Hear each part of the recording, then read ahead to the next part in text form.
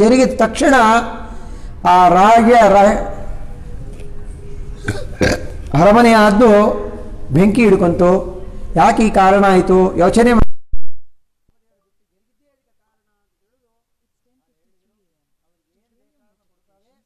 ರಾಮದೇವ್ರನ್ನ ಮಾತ್ರ ಕೊಟ್ಟು ಬಿಡಿ ಅಂತ ಕೇಳಿ ತಗೊಂಡು ಬನ್ನಿ ಅಂತ ಸೇವರಲ್ಲಿ ಹೇಳಿ ಕಳಿಸಿದ್ದಾರೆ.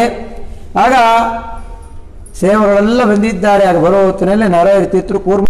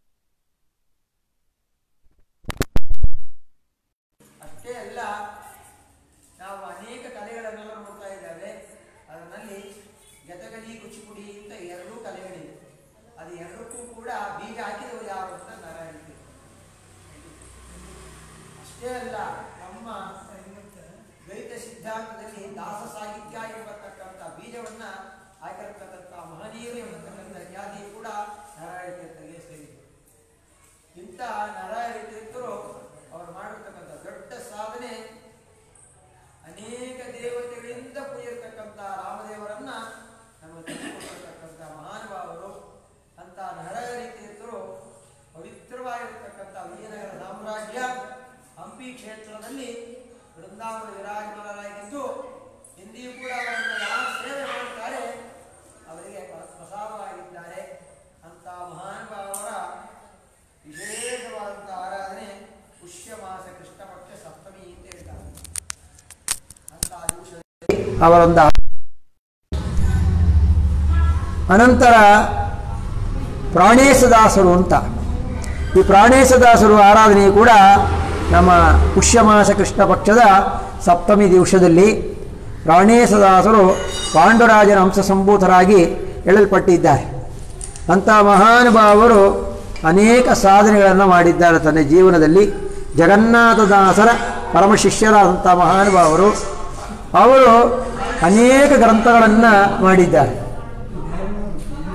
ಅನೇಕ ಗ್ರಂಥಗಳನ್ನು ಮಾಡಿ, ಸಾಧನೆ ಮಾಡಿ ವರದೇಂದ್ರ ತೀರ್ಥರ ಪೂರ್ಣ ಅನುಗ್ರಹಕ್ಕೆ ಪಾತ್ರವಾದರು ಈ ವರದೇಂದ್ರ ತೀರ್ಥರು ಒಂದು ಸಂದರ್ಭ ಲಿಂಕಸುಗೂರು ಗ್ರಾಮಕ್ಕೆ ಬರ್ತಾ ಇದ್ದಾರೆ. ಬಂದು ಪ್ರಾಣೇಶದಾಸರಲ್ಲಿ ವಿಶೇಷವಾದಂಥ ಅನುಗ್ರಹವನ್ನು ಮಾಡಿ, ನಿಮ್ಮಿಂದ ಯಾವುದಾರೊಂದು ಬಹುಮಾನವನ್ನು ನಾನು ಪಡೀಬೇಕು ಅಂತ ಅಂದಾಗ, ನಾನು ಏನು ಕೇಳಿದ್ರು ಕೊಡೋಕ್ಕೆ ಸಿದ್ಧವಾಗಿದ್ದೆ ನನ್ನಲ್ಲಿ ಇರೋದನ್ನು ಪ್ರಾಣಿ ಪ್ರಾಣೇಶ ವರದೇಂದ್ರ ಹೇಳಿದ್ರೆ ನಿಮ್ಮಲ್ಲಿ ಏನಿದೆಯೋ ಅದನ್ನೇ ಕೇಳ್ತಾ ಇದ್ದಾನೆ ಏನು ಬೇಕು ಅಂದರು ನೀವು ದೊಡ್ಡ ಭತ್ತ ಹಾಕುವಂಥ ಮಡಿಕೆ, ಅದನ್ನು ನನಗೆ ದಾನ ಕೊಟ್ಟರೆ ಸಾಕು ಅಂದರು ಯಾಕೆಂದರೆ ಅವರಲ್ಲಿ ಇರೋದೇ ಅಷ್ಟೇ ಪ್ರಾಣಿ ಸಾಹಸ ಆಯಿತು ಸ್ವಾಮಿ ಅಂತೇಳಿ ಕೃಷ್ಣಾರ್ಪಣ ಅಂತ ತುಳಸಿ ಇಟ್ಟುಕೊಟ್ರು. ಆ ಮಡಿಕೆಯನ್ನು ತಗೊಂಡಂಥವರು ವರದೇಂದ್ರ ಹೊರಗಡೆ ಹಾಕಿದ್ರು. ಇದು ಸಂದರ್ಭ ಬಂದಾಗ ತಗೊಂಡು ಹೋಗ್ತಾನೆ ನಂಗಂತೂ ನೀವು ದಾನ ಕೊಟ್ಟಾಯಿತು ಅಂತ ಹೇಳಿದ್ರು. ಸ್ವಲ್ಪ ದಿವಸದಲ್ಲಿ ಪ್ರಾಣೇಶದಾಸನಿಗೆ ಸುದ್ದಿ ಬಂತು. ವರದೇಂದ್ರ ತೀರ್ಥರು ಪುಣೆಯಲ್ಲಿ ಬೃಂದಾವನಸ್ಥರಾದರು ಅಂತ. ಆಷಾಢ ಮಾಸ ಶುಕ್ಲಪಕ್ಷ ಷಷ್ಠಿ ತಿಥಿ, ಅವರು ಬೃಂದಾವನಸ್ಥರಾದರು ಇವರಿಗೆ ಬಹಳ ದುಃಖ ಆಯಿತು ಪ್ರಾಣೇಶದಾಸನಿಗೆ. ನಮ್ಮಲ್ಲಿ ಒಂದು ಸಣ್ಣ ಬಹುಮಾನವನ್ನು ಪಡೆದು ಅದರಲ್ಲ ಮತ್ತು ಬಂದು ತಗೊಂಡೋಗ್ತಾನೆ ಅದರಲ್ಲ ತಗೊಳ್ಳೇ ಇಲ್ಲಿ ಒಂದು ದುಃಖ. ರಾತ್ರಿ ಸ್ವಪ್ನ ಆಯಿತು ಪ್ರಾಣೇಶದಾಸರಿಗೆ. ನೀನು ಕೊಟ್ಟಂತ ನಾನು ಸ್ವೀಕಾರ ಮಾಡಿದ್ದಾನೆ, ನೀನು ಯಾವ ಮಡಿಕೆಯನ್ನು ಬೋರ್ ಕಡೆ ಹಾಕಿದ್ಯೋ ನೋಡು ಅಂತ ಅದನ್ನು ತೆಗೆದು ನೋಡಿದ್ರೆ ಅಲ್ಲೊಂದು ಬೃಂದಾವನ ಇತ್ತು. ಇದು ಮೃತ್ತಿಗಾ ಬೃಂದಾವನವಲ್ಲ ಪ್ರಾ ವರದೇಂದ್ರ ತೀರ್ಥರು ಪ್ರಾಣೇಶದಾಸ ಮನೆ ಸ್ವಯವಾಗಿ ಬೃಂದಾವನಸ್ಥರಾಗಿದ್ದಾರೆ ಅಂತ. ಅದು ತುಳಸಿ ಬೃಂದಾವನ ಸ್ವರೂಪದಲ್ಲಿ ಇತ್ತು. ಯುವತಿ ಕೂಡ ಆ ಲಿಂಗಸಿಗೂರಿನಲ್ಲಿ ಪ್ರಾಣೇಶದಾಸರ ಮನೆಯಲ್ಲಿ ವರದೇಂದ್ರ ತೀರ್ಥ ಬೃಂದಾವನ ಅಂತ ಪೂಜಿಸಿಬಿಡ್ತಕ್ಕಂಥಾಗಿದೆ ಈ ವರದೇಂದ್ರ ತೀರ್ಥರಿಗೆ ಅನುಗ್ರಹಕ್ಕೆ ಪೂರ್ಣ ಪಾತ್ರವಾಗಲಿ ಪ್ರಾಣೇಶದಾಸರು. ಅಂಥ ಮಹಾನುಭಾವರ ಆರಾಧನೆ ದಿವಸವೂ ಕೂಡ ನಾವು ನಿನ್ನೆ ನೋಡಿದ್ದಾವೆ. ಈಗತ್ತು ಮಹಾನುಭಾವರು ಮಹಾಗಣಪತಿ ಅವತಾರ ಸಂಭೂತರು ಅಂತ ಭೃಗುಮುನಿಗಳ ಅವತಾರ ಸಂಭೂತರಾದಂಥ ವಿಜಯದಾಸರ ಕರಕಮಲ ಸಂಜಾತರು ಸಕಲಾದನ ಅವತಾರ ಸಂಭೂತರಾದಂಥ ಜಗನ್ನಾಥದಾಸರಿಗೆ ಆಯುಷ್ದಾನವನ್ನು ಕೊಟ್ಟಿರತಕ್ಕಂಥ ಮಹಾನುಭಾವ ಗೋಪಾಲದಾಸರನ್ನು ಚಿಂತನೆ ಮಾಡಿದರೆ ಏನು ಬರುತ್ತೆ ಹಾಗೆ ಅಂತ ಕೇಳಿದರೆ, ಭಕ್ತಿಗೆ ಪೂರ್ಣವಾದಂಥ ಮುಖ್ಯಸ್ಥವನ್ನು ಕೊಟ್ಟವರು. ಯಾರು ಭಗವಂತನಲ್ಲಿ ಹೆಚ್ಚು ಭಕ್ತಿ ಮಾಡ್ತಾರೆ, ಅವರಿಗೆ ದೇವರು ಯಾವತ್ತೂ ಐಶ್ವರ್ಯ ಕೊಡೋದಿಲ್ಲ, ಬಡತನವೇ ಕೊಡ್ತಾರೆ. ಯಾಕೆ ಐಶ್ವರ್ಯ ಕೊಡೋದಿಲ್ಲ? ಹಾಗೆ ಅಂತಂದರೆ, ಐಶ್ವರ್ಯ ಬಂತು ಅಂದರೆ ಪರಮಾತ್ಮನ ಮರ್ತೋಗ್ತಾರೆ ಬಡತನ ಹೆಚ್ಚಾಯಿತು ಅಂದರೆ ಪರಮಾತ್ಮ ಹೆಚ್ಚು ನೆನೆಸ್ತಾ ಇರ್ತಾರೆ. ಅದಕ್ಕೆ ದೇವರು ಯಾವಾಗಲೂ ಬಡತನನ್ನೇ ಕೊಡೋದು. ಕೃಷ್ಣ ಕುಂತಿಯನ್ನು ಭಾಗವತದಲ್ಲಿ ಬರ್ತೆ, ಕುಂತಿಯನ್ನು ನೋಡಿ ಕೇಳಿದ ಅತ್ತೆ ನಿನಗೇನು ಬೇಕು ಅಂತ ಕೇಳಿದ. ಕುಂತಿ ಹೇಳಿದರು ನನಗೆ ಬಡತನ ಶಾಶ್ವತವಾಗಿರಲಿ ಎಂದು. ಯಾಕೆ ಎಂದು? ನಿನ್ನ ನೆನೆಯೋದೇ ಸಂಪತ್ತು, ನಿನ್ನ ಮರೆಯೋದೇ ವಿಪತ್ತು ಅಂದರು ಆದ್ದರಿಂದ ನಿನ್ನ ಮರೆಯತಕ್ಕಂಥ ಸಂಪತ್ತು ಬರೋದಕ್ಕಿಂತ ನಿನ್ನ ನೆನೆಯೋ ಯಾಕೆಂದರೆ ವಿಪತ್ತು ಬಂತು ಅಂತಂದರೆ ನಿನ್ನ ನೆನೆಸ್ತಾವೆ, ವಿಪತ್ತು ಸಂಪತ್ತಾಗುತ್ತೆ. ಸಂಪತ್ತು ಬಂತು ನಿನ್ನ ಮರಿತಾವೆ, ಸಂಪತ್ತು ವಿಪತ್ತಾಗುತ್ತೆ. ಆದರೆ ವಿಪತ್ತಿಂದ ಸಂಪತ್ತು ಬರಬೇಕು, ಸಂಪತ್ತಿಂದ ವಿಪತ್ತು ಬರಬೇಕು.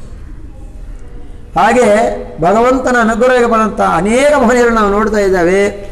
ಅವರಿಗೆಲ್ಲ ಬಡತನ, ಬಡತನದಿಂದ ಅವ್ರಿಗೆ ಏನಾಯಿತು ಅಂದರೆ ಭಕ್ತಿ ಮಾಡೋದಕ್ಕೆ ಭಾಳ ಸೌಕರ್ಯ ಕೊಟ್ಟ ದೇವರು ಭಾಗಕ್ಕೆ ಬಂದದ್ದು ಬಡತನವೇ ಶಾಶ್ವತ ಒಂದು ವಾಕ್ಯ ಕನ್ನಡದಲ್ಲಿ. ಮೂರ ದಾಸರಳಿಗೆ ಒಂದು ಉಪಾಯವನ್ನು ಹೇಳಿದ್ದಾರೆ. ಭಕ್ತಿಯಲ್ಲಿ ಬಾಗಣ್ಣ, ಶಕ್ತಿಯಲ್ಲಿ ತಿಮ್ಮಣ್ಣ, ಯುಕ್ತಿಯಲ್ಲಿ ಮೋಹಣ್ಣ ಅಂತ. ಭಕ್ತಿಯಲ್ಲಿ ಭಾಗಣ್ಣ ಅಂತಂದರೆ ಗೋಪಾಲದಾಸರ ಪೂರ್ವಾಶ್ರಮದ ಹೆಸರು ಭಾಗಣ್ಣದಾಸರು ಭಾಗಣ್ಣ ಅಂತ. ಶಕ್ತಿಯಲ್ಲಿ ತಿಮ್ಮಣ್ಣ, ಪಂಗನಾಮ ತಿಮ್ಮಣ್ಣದಾಸರಿಗೆ ತಿಮ್ಮಣ್ಣ ಅಂತ. ಯುಕ್ತಿಯಲ್ಲಿ ಮೋಹಣ್ಣ ಅಂತಂದರೆ ವಿಜಯದಾಸರ ಪೂರ್ಣ ಅನುಗ್ರಹ ಅಂತ ಮೋಹನದಾಸರು ಅಂತ. ಈ ಮೂರು ಮಹನೀಯರಲ್ಲಿಟ್ಟು ಈ ಒಂದು ವಾಕ್ಯವನ್ನು ಹೇಳಿದ್ದಾರೆ ಮಹನೀಯರುಗಳು. ಅಂತ ಪ್ರಥಮ ಸ್ಥಾನ ಭಕ್ತಿಯಲ್ಲಿ ಭಾಗಣ್ಣ ಅಂತ. ಭಕ್ತಿ ಮಾಡಿದರೆ ಏನು ಬರುತ್ತೆ? ಭಕ್ತಿ ಅಂದರೆ ಏನು ಭಕ್ತಿ? ನಿಚ್ಚಳವಾದಂಥ ಭಕ್ತಿ. ಯಾವುದನ್ನು ಎದುರು ನೋಡದೆ ನಾವು ಭಗವಂತನಲ್ಲಿ ಚಿಂತೆ ಮಾಡೋದಕ್ಕೆ ನಿಚ್ಚಲ ಭಕ್ತಿ ಅಂತ ಅರ್ಥ. ಆದರೆ ನಾವು ಭಗವಂತನಲ್ಲಿ ಏನೆಲ್ಲ ತಕಮಾಣ ಅಂತ ಭಕ್ತಿ ಮಾಡ್ತೇವೆ, ಆದರೆ ಆ ಭಕ್ತಿಯು ಕೂಡ ನಿಚ್ಚಲವಾದ ಭಕ್ತಿ ಇಲ್ಲ. ಆ ಭಕ್ತಿಯಲ್ಲಿ ಕೂಡ ನಾನಾ ಹೊಲಸುಗಳು, ಕೊಳಕುಗಳು ತುಂಬಿಕೊಂಡಿರುತ್ತೆ ಯಾರೋ ಹೇಳ್ತಾರೆ ಅಂತ ಭಕ್ತಿ ಮಾಡೋದು, ನಾವು ಮಾಡೋದಲ್ಲ ಭಕ್ತಿ. ಹೋಗಿ ದಿನಾಲ ಪ್ರದಕ್ಷಿಣೆ ನಮಸ್ಕಾರ ಮಾಡ್ರಿ ಅಂತ ಯಾರು ಹೇಳಿದರೆ ಮಾಡೋ ಸಂಶಯ. ಯಾರೋ ಹೇಳಿದ್ರು ನಾವು ಮಾಡ್ತಾ ಇದ್ದೇವೆ, ಬರ್ತೀವೋ ಬರಲ್ಲ. ನಮಗೆ ಸಂಶಯವೇ ಹೆಚ್ಚು. ಯಾವ ಕೆಲಸ ಮಾಡಿದ್ರು ಎಲ್ಲಾದರೂ ಸಂಶಯ. ಸಂಶಯವಿಲ್ಲದೆ ಯಾವ ಕಾರ್ಯಗಳನ್ನು ಮಾಡ್ತಾವೆ, ಅದು ಸಾಧನೆ ಆಗ್ತದೆ.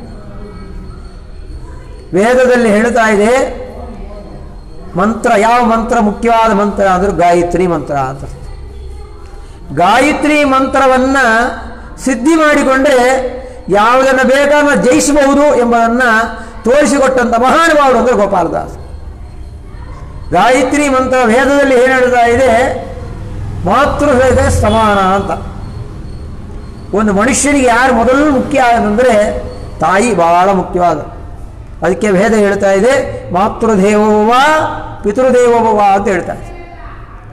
ಹಾಗೆ ಎಲ್ಲ ಮಂತ್ರಗಳಲ್ಲಿ ಮೂಲ ಮಂತ್ರ, ಪ್ರಧಾನ ಮಂತ್ರ ಯಾವುದು ಅಂದರೆ ಗಾಯತ್ರಿ ಮಂತ್ರ. ಗಾಯತ್ರಿ ಅಂದರೆ ಏನು? ಸಾಮಾನ್ಯವಾದಂಥ ಒಂದು ಸ್ತ್ರೀರೂಪವಾದಂಥ ದೇವತೆ ಅಲ್ಲ. ನಾವು ಎಷ್ಟೋ ಪಟದಲ್ಲಿ ನೋಡ್ತೇವೆ, ಐದು ಮುಖ ಇರುತ್ತೆ, ಹತ್ತು ಕೈ ಇರುತ್ತೆ, ಗಾಯತ್ರಿ ಅಂತ ಹೇಳ್ತಾರೆ. ಅದು ಗಾಯತ್ರಿಯಿಂದ ದೇವತೆ ಇರ್ಬೋದು. ಆದರೆ ಗಾಯತ್ರಿ ಅಂದರೆ ಯಾರು ಅಂದರೆ ಸೂರ್ಯ ಮಂಡಲ ಮಧ್ಯದಲ್ಲಿರತಕ್ಕಂಥ ಪರಮಾತ್ಮ ಸೂರ್ಯನಾಮಕನ ಇರತಕ್ಕಂಥ ಪರಮಾತ್ಮ. ಅವನೇ ಗಾಯತ್ರಿ ಅಂತ ಗಾಯತ್ರಿ ಮಂತ್ರ ಪ್ರತಿಪಾದ್ಯನಾಗಿರತಕ್ಕಂಥವನು ಯಾರು ಆಗಿದ್ರೆ ಸಾಕ್ಷಾತ್ ಶ್ರೀವನ್ನಹಾರಾಯಣ ಸೂರ್ಯನ ಕಿರಣ ಎಷ್ಟೊಂದು ಸ್ವರ್ಣ ಜುಗಾಯಿ ಜುಳಿಸ್ತಾ ಇದೆ, ಅದಕ್ಕಿಂತ ಹೆಚ್ಚು ಭಗವಂತ ನಾರಾಯಣ ಮಧ್ಯೆ ಕೂತು ಒಳ್ಳೆ ಕ್ರೀಟ, ರತ್ನ ಕುಂಡಲ, ಮಕರ ಕುಂಡಲ, ಮಕರ ಕ್ರೀಟ ಧಾರಣ ಮಾಡಿಕೊಂಡಿದ್ದಾನೆ. ಕೇಯೂರವಾನ್, ಮಕರ ಕುಂಡಲವಾನ್, ಕ್ರೀಟಿ ಎರಣ್ಮಯೋಗು ಚತುರಂಗ ಚಕ್ರ ಅಂತ ಹೇಳ್ತಾರೆ ಅಂತ ಸೂರ್ಯನಾಮಕನಾಗಿರತಕ್ಕಂಥ ಪರಮಾತ್ಮನೇ ಗಾಯತ್ರಿ ದೇವತೆ ಪ್ರತಿಪಾದ್ಯನಾಗಿರ್ತಕ್ಕಂಥ ಪರಮಾತ್ಮ. ಅದಕ್ಕೆ ಪುರುಷರುಗಳು ಮಾತ್ರ ಹೇಳಬೇಕು ಅಂತಂಬೋದು ಯಾಕಂದರೆ ಪುರುಷನಾಮಕನಂತ ಪರಮಾತ್ಮನ ಅದು. ಅಂತ ಗಾಯತ್ರಿ ಮಂತ್ರಕ್ಕೆ ನಭೂತೋ ನ ಭವಿಷ್ಯತಿ ಅಂತ, ಗಾಯತ್ರಿ ಮಂತ್ರ ಸಮಾನವಾದಂಥ ಮಂತ್ರಗಳು ಯಾವುದೂ ಇಲ್ಲ ಅಂತ ಹೇಳಿದ್ದಾರೆ. ಒಂದು ದಿವಸಕ್ಕೆ ಕೇವಲ ಹತ್ತೇತ್ತು ಗಾಯತ್ರಿ ಮಾಡಿದವು ಅಂತಂದರೆ ಒಂದು ವರ್ಷಕ್ಕೆ ಮೂರು ಸಾವಿರದ ಆರುನೂರು ಗಾಯತ್ರಿ ಆಯಿತು. ಎಷ್ಟು ಗಾಯತ್ರಿ ಮಂತ್ರವನ್ನು ನಾವು ಮಾಡ್ತಾ ಇದ್ದಾಗ ನಮಗೆ ಏನಾಗುತ್ತೆ ಅಂತಂದರೆ ನಮ್ಮ ವಾಕ್ ಫಲಿತವಾಗುತ್ತೆ. ನಾವು ನೆನೆಸಿಕಾಗಿರ್ತಕ್ಕಂಥ ಜಯವಾಗುತ್ತೆ. ನಮ್ಮಲ್ಲಿರತಕ್ಕಂಥ ದುರಂತಗಳೆಲ್ಲ ನಮ್ಮನ್ನು ಬಿಟ್ಟು ಹೋಗುತ್ತೆ. ಗಾಯತ್ರಿ ಮಂತ್ರವನ್ನು ಬಿಟ್ಟು ನಾವು ಯಾವುದೇ ಮಂತ್ರಗಳನ್ನು ಹೇಳಿದರೂ ಕೂಡ ಎತ್ತ ತಾಯಿಯನ್ನು ಉಪವಾಸವಾಗಿ ಸಾವಿರ ಜನಕ್ಕೆ ಅನ್ನ ಹಾಕಿದರೆ ಫಲ ಬರೋದಿಲ್ಲ. ಹಾಗೆ ಯಾವ ಮಂತ್ರವೂ ಕೂಡ ನಮಗೆ ಫಲ ಬರೋದಿಲ್ಲ. ಗಾಯತ್ರಿಯನ್ನು ಮಾಡಿ ಮಿಚ್ಚ ಮಂತ್ರವನ್ನು ಬಿಡ್ತಾನೆ ಅಂದರೆ ಆ ಗಾಯತ್ರಿ ಮಂತ್ರದ ಫಲದಿಂದ ಎಲ್ಲ ಮಂತ್ರ ಸಿದ್ಧಿ ಆಟೋಮೆಟಿಕ್ ಆಗುತ್ತೆ. ಆದ್ದರಿಂದ ಅಂಥ ಗಾಯತ್ರಿ ಮಂತ್ರವನ್ನು ಪೂರ್ಣವಾಗಿ ಸಿದ್ಧಿ ಮಾಡಿಕೊಂಡಂಥ ಮಹಾನುಭಾವರು ಎಂಬತಕ್ಕಂಥ ಖ್ಯಾತಿ ಮಹಾನುಭಾವರು ಗೋಪಾಲದಾಸ. ಅಂಥ ಗಾಯತ್ರಿ ಮಂತ್ರವನ್ನು ಸಿದ್ಧಿ ಮಾಡಿಕೊಂಡಂಥ ಕಾರಣ ಸಾಕ್ಷಾತ್ ಪರಮಾತ್ಮ ಶ್ರೀಮನ್ನಾರಾಯಣ ಅಮೃತ ಮದನ ಕಾಲದಲ್ಲಿ ಬಂದಿರತಕ್ಕಂಥ ಧನ್ವಂತರಿ ದೇವರನ್ನ ಉಪಾಸನೆ ಮಾಡಿ ಆ ಧನ್ವಂತರಿ ಜೊತೆಗೆ ಮಾತಾಡತಕ್ಕಂಥ ಚೇತನ ಪಡೆದಂಥವರಾಗ ಗೋಪಾಲ ಎನ್ನ ಭಿನ್ನಪ ಕೇಳೋ ಧನ್ವಂತ್ರಿ ದಯ ಮಾಡೋ ಸಣ್ಣವನಿವ ಕೇವಲ ನಿಂತು ಕೊಲ್ಲುವ ವ್ಯಾಧಿಯನ್ನು ಪರಿಹರಿಸುವಂತೇಳಿ ಈ ಗಾಯತ್ರಿ ಮಂತ್ರವನ್ನು ಸಿದ್ಧಿ ಮಾಡಿ, ಧನ್ವಂತ್ರಿಯನ್ನು ಜಪ ಮಾಡಿ, ಆ ಧನ್ವಂತ್ರಿ ಪೂರ್ಣ ಅನುಗ್ರಹವನ್ನು ಪಡೆದು ತನ್ನ ಆಯುಷನ್ನೇ ತನ್ನ ಶಿಷ್ಯರಾದಂಥ ಶ್ರೀನಿವಾಸಾಚಾರ್ಯ ದಾನ ಕೊಟ್ಟಿದ್ದಾರೆ ಅಂತಂದರೆ ಸಾಮಾನ್ಯ ಶರೀರನ್ನು ಯಾರು ದಾನ ಕೊಡೋಕ್ಕಾಗೋದಿಲ್ಲ ತಕೊಂಬಕ್ಕಾಗೋದಿಲ್ಲ ಒಂದು ಪದಾರ್ಥಗಳನ್ನು ನಾವು ಒಬ್ಬರಿಗೆ ಕೊಡಬೇಕು ಹಾಗಂದ್ರೆ ನಮ್ಮಲ್ಲಿ ಅದಕ್ಕೆ ಉಂಟಾದಂಥ ಯೋಗ್ಯತೆ ಇರಬೇಕು, ದಾನ ಕೊಡೋದಕ್ಕೆ. ಅದನ್ನು ಕೊಡೋದನ್ನು ತಗೊಂಬೋರಿಗೂ ಕೂಡ ಅದಕ್ಕೆ ಯೋಗ್ಯತೆ ಇರಬೇಕು. ಕೊಟ್ಟೋರಿಗೆ ಯೋಗ್ಯತೆ ಇರಬೇಕು ತಗೊಂಡೋರಿಗೆ ಯೋಗ್ಯತೆ ಇದ್ದಾಗ ಯಾವ ಪದಾರ್ಥ ನಾವು ಕೊಡ್ತಾವೆ, ಅದು ಶ್ರೇಷ್ಠವಾಗುತ್ತೆ. ಇಲ್ಲ ಅಂತಂದರೆ ಅದು ಫಲ ಅಲ್ಲ, ನಿಷ್ಫಲವಾಗುತ್ತೆ. ಆಗ ಗಾಯತ್ರಿ ದೇವತೆ ಪರಮಾತ್ಮ ಅವರೊಳಗೆ ಕೂತು ಅವರ ಅಂತರ್ಯಾವಂತ ಧನ್ವಂತರಿ ಒಳಗೆ ಕೂತು ಅವರ ಆಯುಷಿಗೆ ಎಷ್ಟೊಂದು ಫಲ ತಂದಾಗ ತನ್ನ ಪ್ರಪಂಚದಲ್ಲಿ ನಲವತ್ತು ವರ್ಷ ಬಾಳಿದ್ದರೂ ಕೂಡ ಅವರಿಗೆ ದೇವರು ಕೊಟ್ಟಂಥ ಆಯಸ್ಸು ಎಂಬತ್ತು ವರ್ಷ ಆಯುಸು ನಲವತ್ತು ವರ್ಷದಲ್ಲಿ ಇನ್ನು ಹಿಂದಿನ ನಲವತ್ತು ವರ್ಷಕ್ಕೆ ಏನುಂಟೋ ಅದನ್ನು ಮೊದಲೇ ಸಾಧನೆ ಮಾಡಿಕೊಂಡವರು. ಅಂತ ವಾದರಾಜರು ಹೇಳ್ತಾ ಇದ್ದಾರೆ. ಮನುಷ್ಯ ಶರೀರ ಏನು ಅಂತಂದರೆ ಶ್ರೇಷ್ಠವಾದಂಥ ಶರೀರ, ಸಾಧನೆ ಶರೀರ ಅಂತ ಹೆಸರು. ಇದು ವೇದನೆ ಶರೀರ ಅಲ್ಲ. ಆದರೆ ಅವರವರು ಉಪಯೋಗಿಸಿ ಮುನ್ನ ಇಟ್ಟುಕೊಂಡೇ ಬರೋದು ಸಾಧನೆ ಶರೀರವೋ, ವೇದನೆ ಶರೀರವೋ. ಸಾಧನೆ ಮಾಡಬೇಕು. ಏನು ಸಾಧನೆ? ಹಣಕಾಸಿನಿಂದ ಅಲ್ಲ, ಶರೀರೋಪಕಾರದಿಂದ. ಹಿತಂ ಶರೀರಂ ಪರೋಪಕಾರ. ನಮ್ಮ ಶರೀರದಿಂದ ನಾವು ಎಷ್ಟೊಂದು ನಮ್ಮಿಂದ ಮಾಡೋಕ್ಕಾಗತ್ತೆಯೋ ಉಪಕಾರಗಳನ್ನು ಮಾಡಬೇಕು. ಆ ಉಪಕಾರವು ಕೂಡ ಇನ್ನೊಬ್ಬರಿಗೆ ಸರಿಯಾದ ಮಾರ್ಗದಲ್ಲಿ ಓದಿರ್ತಕ್ಕಂಥ ರೀತಿಯಾದಂಥ ಉಪಕಾರವಿರಬೇಕು ನಮ್ಮ ಉಪಕಾರ ಇನ್ನೊಬ್ಬರಿಗೆ ಅಪಕಾರವಾಗಬಾರ್ದು ಅಂಥ ಉಪಕಾರ ಮಾಡೋದಕ್ಕಿಂತ ಸುಮ್ಮನೆ ಇರೋದು ಉತ್ತಮ ಅಂತ. ಅಂಥ ಸಾಧನೆಯನ್ನು ಈ ಶರೀರಕ್ಕೆ ದೇವರು ನಮಗೆ ಕೊಟ್ಟಿದ್ದಾರೆ. ಎಂಬತ್ತು ನಾಲ್ಕು ಲಕ್ಷ ಜೀವರಾಶಿ ಸೃಷ್ಟಿ ಮಾಡಿ ಯಾವ ಶರೀರಕ್ಕೂ ಕೊಳ್ಳೋದಿರತಕ್ಕಂಥ ದೊಡ್ಡ ಸಾಧನೆ ಅವರಿಗೆ ಅಂದರೆ ಮನುಷ್ಯನಿಗೆ ಮಾತ್ರ. ಅಂಥ ಮನುಷ್ಯ ಶರೀರ ಸಿಕ್ಕಿರೋದು ಬಹಳ ದುರ್ಲಭ. ಅಂತ ಮನುಷ್ಯ ಶರೀರ ಸಿಕ್ಕಿದಾಗ ಅದನ್ನು ನಾವು ಉಪಯೋಗಿಸಬೇಕು ಅಂಥದ್ದನ್ನು ನಮಗೆ ತೋರಿಸಿಕೊಡ್ತಾ ಇದ್ದಾರೆ. ಆದರೆ ನಮ್ಮ ಶರೀರದಲ್ಲಿ ನಾನಾ ಅವಯವಗಳು ಕೂತಿದೆ. ಒಂದೊಂದು ಅವಯವಗಳು ಒಂದೊಂದು ಕೆಲಸಗಳನ್ನು ಮಾಡ್ತಾ ಇದೆ. ಆದರೆ ಒಂದೊಂದು ಅವಯವಗಳಿಗೂ ನಾನಾ ವಿಧವಾದಂಥ ರೋಗಗಳು ಪೀಡಿಸಿಕೊಂಡಿದೆ. ಏನು ರೋಗ ಅದು? ಶರೀರದ ರೋಗವಲ್ಲ. ಶರೀರದೊಳಗಿರತಕ್ಕಂಥ ಗುಣಗಳಿಗೆ ಬಂದಿರತಕ್ಕಂಥ ರೋಗ. ಈ ಶರೀರ ಇದೆ. ಒಳಗಿರತಕ್ಕಂಥ ಜೀವ ಇದೆ. ಜೀವಕ್ಕೂ ಶರೀರಕ್ಕೂ ಸಂಬಂಧವಿಲ್ಲ. ಯಾಕೆ ಅಂದರೆ, ಶರೀರ ಸ್ವಲ್ಪ ದಿವಸ ಜಜ್ಜರಿದ ಆಗೋಗುತ್ತೆ ವಾಯುದೇವರು ದೇಹ ಬಿಟ್ಟು ಜರುಗಿದ ಮೇಲೆ ಪ್ರಾಣ ಹೊಟ್ಟೋಗತ್ತೆ ಆತ್ಮ ಹೊಟ್ಟೋಗುತ್ತೆ ಬರೀ ಶರೀರ. ಶರೀರಕ್ಕೆ ಬೆಂಕಿ ಹಾಕ್ತಾನಷ್ಟೆ ಆದರೂ ಕೂಡ ಆ ದೇಹದೊಳಗೆ ವಾಯುದೇವರು ನಿಂತಿರೋ ವೇಳೆ ಒಂದೊಂದು ಅವಯವಳಿ ಒಂದೊಂದು ಗುಣ. ಅದು ಏನು ಗುಣ? ಅದು ರೋಗ ಅಂದರು ಗೋಪಾಲದಾಸ್. ಯಾವ ರೋಗವು ನನಗೆ ದೇವ ಧನ್ವಂತರಿ ಅದು ಹೇಳ್ತಾರೆ. ನನಗೇನು ರೋಗ ಅಂತೇಳಿ ನೀನೇನು ಒಡ್ತೀಯ ಹೇಳ್ಬೇಡ. ಇವತ್ತಿನ ಕಾಲದಲ್ಲಿ ಏನಾದ್ರು ಒಂದು ರೋಗ ನಮಗೆ ತಿಳಿಬೇಕು ಅಂದರೆ ಟೆಸ್ಟ್ ಎಲ್ಲ ಮಾಡಿ ರಿಸಲ್ಟ್ ಬಂದ ಮೇಲೆ ಹೇಳ್ತಾರೆ. ಹಾಗೆ ಗೋಪಾಲದಾಸ ಅವಲೇ ಹೇಳಿದ್ದು, ಮುನ್ನೂರು ವರ್ಷಕ್ಕೆ ಮುಂಚೆ ಹೇಳಿದ್ದು. ಯಾವ ರೋಗವು ನನಗೆ ದೇವ ಧನ್ವಂತ್ರಿ ಈಗಲೇ ಹೇಳಬೇಕು ಎಂಬುದಿಲ್ಲ. ಸಾವಧಾನದಲ್ಲಿ ಕರಬಿಡಿದು ಹೇಳುವುದು ಅವರು ಹೇಳಿದ್ದೆ. ಸಾವಧಾನದಲ್ಲಿ ಕರಪಿಡಿದು ಕೇಳುವಂತ ಹೇಳುವಂತಂದು ಹೇಳು ಅಂದರೆ ಅವತ್ತು ಗೋಪಾಲದಾಸ್ ಹೇಳಿದ್ದೆ, ಇದು ಡಾಕ್ಟರ್ ಹೋದೊಟ್ಟೆ ಪೊಲೀಸ್ ನೋಡಿ ಹೇಳೋದು. ನೋಡಿ. ಕರ ಪಿಡಿದು ಕೇಳು ಅಂದರು ಗೋಪಾಲ. ಏನು ರೋಗ ಅಂದರೆ? ನಿನ್ನ ಪುಣ್ಯ ತೀರ್ಥ ಕ್ಷೇತ್ರ ಅದರೇ ಎಲ್ಲಿ ಇದೆ? ಅಲ್ಲಿ ನನ್ನ ಕಾಲು ಹೋಗೋದಿಲ್ಲ. ಅಲ್ಲಿ ನನ್ನ ಕಾಲು ಇಳಿಯೋದೇ ಇಲ್ಲ. ನೀನು ಮೂರ್ತಿನ ನೋಡಬೇಕು ಅಂದ್ರೆ ನನ್ನ ಕಣ್ಣಿಗೆ ಕಣ್ಣೇ ಹೊಟ್ಟೋಗುತ್ತೆ ಕಣ್ಣು ದೃಷ್ಟಿ ಇರಲ್ಲ ನಿನ್ನ ಮಹಿಮಾ ಸ್ವರೂಪವನ್ನು ಕೇಳಬೇಕು ಅಂತಂದರೆ ನನ್ನ ಕಿವಿ ಕೇಳಿಸೋದೇ ಇಲ್ಲ. ಆಚಾರ ಏನೋ ಒಂದು ಗಂಟೆ ಹೊತ್ತು ಹೇಳ್ತಾ ಇದ್ರಿ, ಏನು ಕಿವಿಲೇ ಬೀಳಲ್ಲ. ಕಿವಿ ಕೇಳಿಸೋದಿಲ್ಲ. ಯಾರ ಮನೆಯಲ್ಲೂ ಮೂರು ಮನೆ ದಾಂಟಿ ಏನೋ ಮಾಡ್ತಾರೆ ಮೂಗಿ ಬರ್ತೆ, ಭಗವಂತನೇ ಅರ್ಪಣೆ ಮಾಡಿರ್ತಕ್ಕಂಥ ನಿರ್ಮಾಲ್ಯವನ್ನು ಈ ನಾಸಿಗೆ ಆಕರ್ಷಣೆ ಮಾಡೋದಿಲ್ಲ. ಕಿವಿ ಒಳ್ಳೆಯದನ್ನು ಕೇಳೋದಿಲ್ಲ. ಒಳ್ಳೆಯದನ್ನು ಕೇಳೋದಿಲ್ಲಲ್ಲ, ಒಳ್ಳೆಯದು ಕಿವಿ ಬೀಳಲ್ಲ. ಬೇರೆ ಯಾವುದೋ ಹೇಳ್ತಾ ಇರ್ತಾರೆ, ಅದು ಸರಿಯಾಗಿ ಬೀಳುತ್ತೆ ಕಿವಿ. ಒಳ್ಳೆಯದು ಕಿವಿ ಬೀಳಲ್ಲ. ಒಳ್ಳೆಯದು ಕಣ್ಣಿಗೆ ಕಾಣಿಸೋದಿಲ್ಲ. ಬೇಳೋದು ಕರೆಕ್ಟಾಗಿ ಕಣ್ಣಿಗೆ ಕಾಣಿಸುತ್ತೆ. ಒಳ್ಳೆಯದು ಮೂಗಿ ಬರೋದಿಲ್ಲ ಬೆಳ್ಳೋದೆಲ್ಲ ಮೂಗಿ ಬರುತ್ತೆ.